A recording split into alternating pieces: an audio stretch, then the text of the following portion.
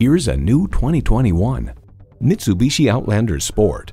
You're ready for anything. Your vehicle should be too. With this Outlander Sport, it is. And get ready for an impressive combination of features.